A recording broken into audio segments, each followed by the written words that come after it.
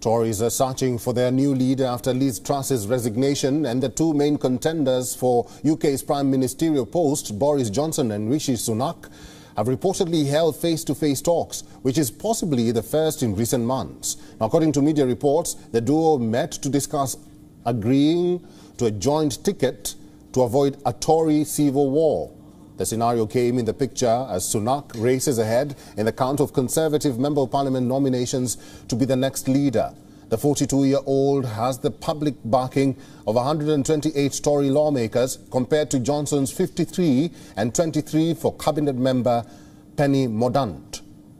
While former Prime Minister Johnson, who returned from a Caribbean holiday, is aiming to launch an audacious political comeback just weeks after leaving office.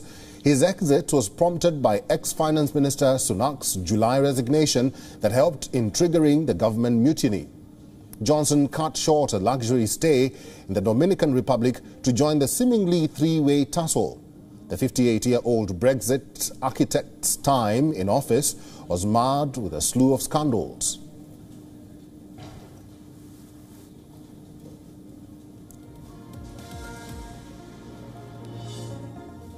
WION is now available in your country. Download the app now and get all the news on the move.